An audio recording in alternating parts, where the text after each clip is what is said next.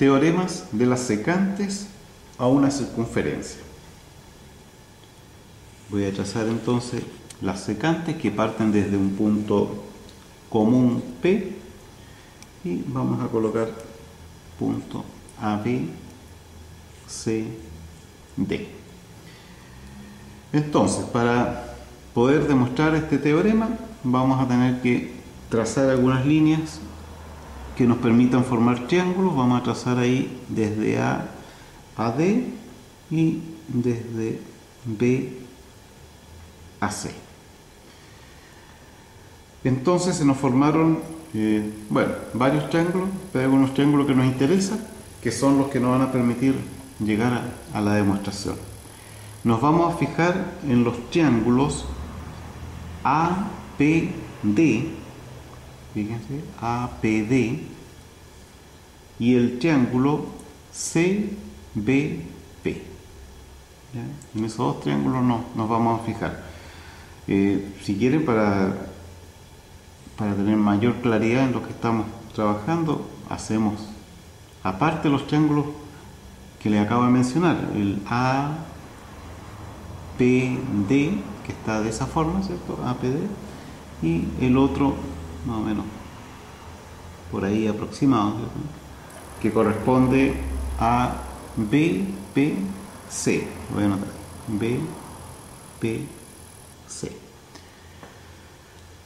Ya, lo primero que debemos darnos cuenta es que los dos triángulos que acabo de señalar y que aquí dibujé tienen un vértice común que es P.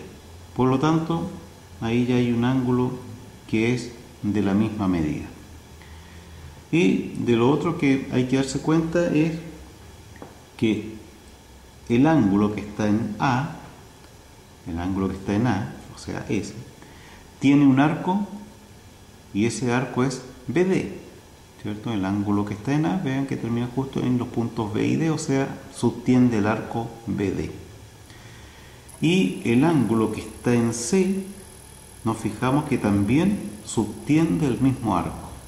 O sea, el ángulo que está en A, el ángulo que está en C, tienen igual medida. Como tienen igual medida, son congruentes y por lo tanto ya tenemos eh, dos triángulos en el cual podemos aplicar el teorema ángulo-ángulo y determinar que estos dos triángulos son semejantes. Entonces, como son semejantes, podemos establecer relación entre sus lados.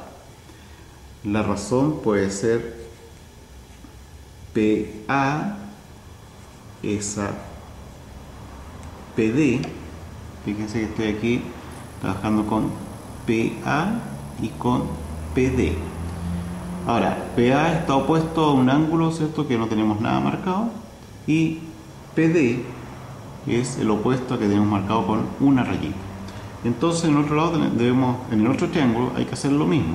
Hay que buscar el que no tiene nada marcado, que en este caso es el ángulo que está en B, y su opuesto corresponde a el trazo PC. PC.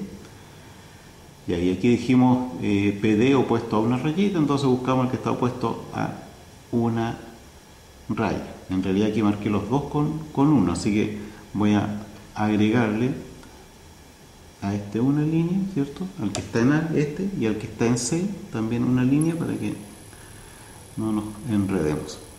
Por lo tanto, si dije el trazo PD, aquí está PD, es el que está opuesto a dos rayitas y el que está opuesto aquí a dos rayitas corresponde a PB.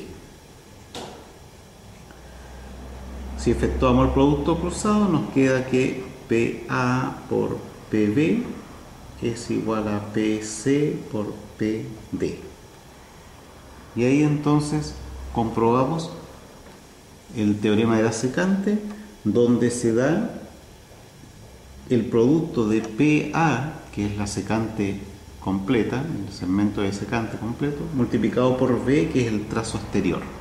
Y PC por PD, PC corresponde al trazo total, por PD, que es el trazo exterior.